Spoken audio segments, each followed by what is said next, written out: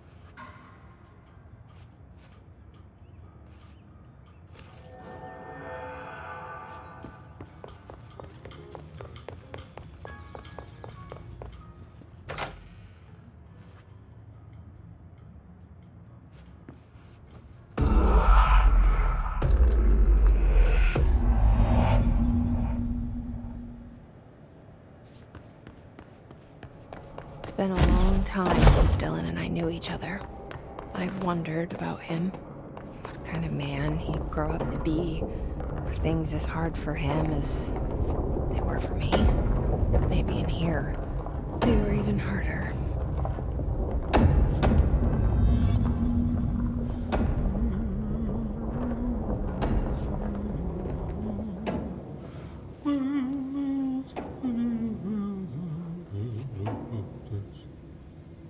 Hello. Is there something I can help you with? I'm Jesse, the new director. I need to get inside. New director. Right. Uh, well, okay. Hello, I'm Frederick Langston, the Panopticon supervisor. It's not the best time for a tour. We have hiss everywhere, numerous cell breaches, and system failures across the board, but you're the director, so here we go. Founded by Zachariah Trench, the Panopticon is our state-of-the-art repository for all altered items. I don't have time for this. Power and I was told Dylan Faden was kept here. Can you help me find him? Faden. Uh, sure. Darling wanted him somewhere secure and isolated away from people. He's in the maximum security cells, upper level. But there's currently a, uh, a pressing matter, ma'am. We- We've got an object of power loose in there. it's wrecking the place. The Benikoff TV, it's, uh, it's a real doozy. Salvador took a team in to handle it, but no one's heard from them for hours. This is a Category 5 OOP we're talking about, and if we don't contain it soon, it will tear the Panopticon apart. And we don't want all those altered items getting loose, ma'am. No, trust me. Dylan's in there. Open the door, Langston. I'll handle it. If you say so. Uh, I usually tell first timers not to touch anything, so uh, just do that. Here, I'll get the door for you. And please, ma'am, call me Fred. Thanks, Langston. I told Salvador it was dangerous, but no. Why listen to Langston? I'm just the Panopticon supervisor.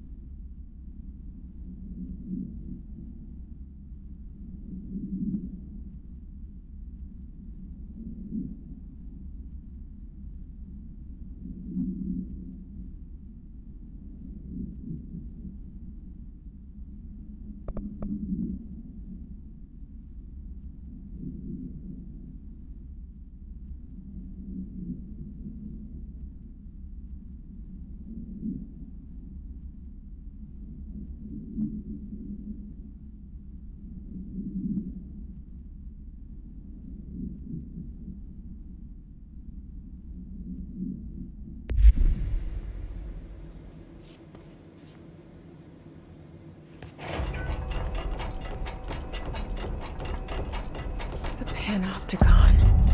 Dylan's close. But that object of power might wreck this place before I find him.